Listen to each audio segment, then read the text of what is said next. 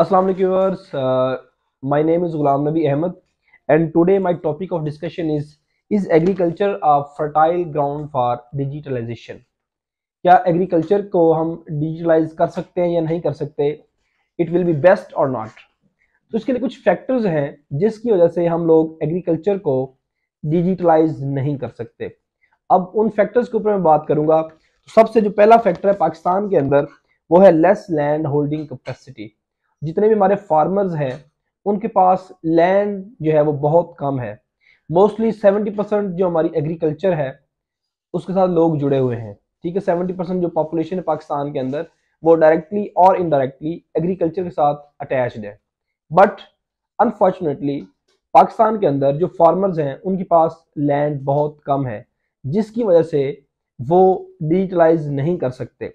Number two जो factor है जिसको हम एग्रीकल्चर को डिजिटलाइजेशन की तरफ़ नहीं लेके जा सकते, वो है लैक ऑफ़ फाइनेंस जितने भी हमारे फार्मर्स हैं, उनके पास इतना फाइनेंशियल जो है प्रॉब्लम्स होते हैं, उनके पास इतना पैसा नहीं होता कैपिटल नहीं होता कि वो लगा सके और अपनी जो क्रॉप्स हैं, उनको डिजिटल तरीके से ग्रो करवा सकें और अपनी सॉइल को जो है वो इस तरह से आगे डिजिटलाइज कर सके या अपनी फ़ार्मिंग को डिजिटलाइजेशन की तरफ़ लेके जा सके।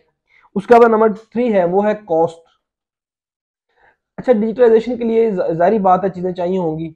उसकी कॉस्ट बहुत ज़्यादा हैवी होती है। तो इस तरह जो हमारे फार्मर्स है, वो इस कॉस्ट को पे नहीं कर सकते। इसीलिए जो है वो हम एग्रीकल्चर को डिजिटलाइजेशन की तरफ़ नहीं लेके जा सकते। उसके बाद है लैक ऑफ़ एजुकेशन मोस्टली हमारे फार्मर्स होते हैं, वो बेचारे पढ़े लिखे नहीं होते। अगर वो पढ़े लिखे हैं भी तो उनको इतना नॉलेज नहीं होता क्रॉप्स के बारे में कि वो अच्छे से उनको जो है वो डील कर सके। इसलिए सबसे जो मेन फैक्टर वो लैक ऑफ़ एजुकेशन भी है, जो कि हमें डिजिटलाइजेशन की तरफ़ लेके लेने के लिए रोकता है मतलब हर्डल क्रिएट करता है। उसके बाद लैक ऑफ़ एक्सपीरियंस अच्छा अगर हम डिजिटलाइज कर भी लें, किस तरीके से गवर्नमेंट पैसा दे दे या कोई और बंदा पैसा दे दे, लेकिन उसके बाद लोगों के पास इस चीज़ का एक्सपीरियंस ही नहीं है। ठीक है? कि डिजिटलाइजेशन के लिए चीज़ें मशीनरी लेके आए, चीज़ें लेके आए, लेकिन एक्सपीरियंस ही नहीं है तो फिर उसको ऑपरेट कैसे करेंगे? ये सबसे बड़ी हिंड्रेंस है जो कि हमें रोकती है डिजिटलाइजेशन के लिए।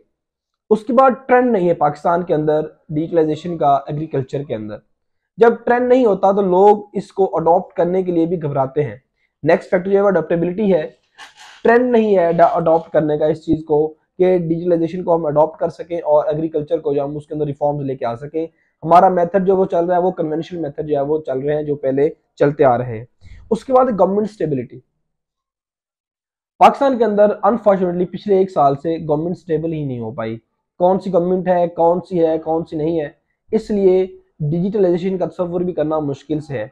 क्योंकि गवर्नमेंट जो है वो किसान की तरफ़ देखती भी नहीं है, ठीक है? जब वो देखती नहीं है ना, उनको स्पोर्ट प्राइस प्रोवाइड करती है स्पोर्ट प्राइस बहुत कम होती है।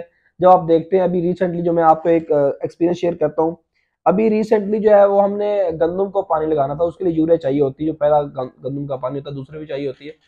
तो यूरिया मिल ही नहीं रही थी, खाद जो है। अगर मिलती तो ब्लैक में मिलती है मतलब बहुत महँगी मिलती है। तो फार्मर बेचारा क्या करे?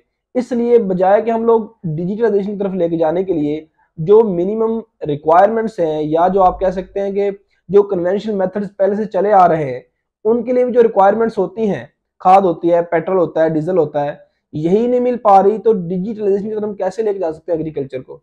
तो ये कुछ ऐसे प्रॉब्लम है जिसके लिए हम लोग एग्रीकल्चर को उस तरफ़ लेके नहीं जा सकते।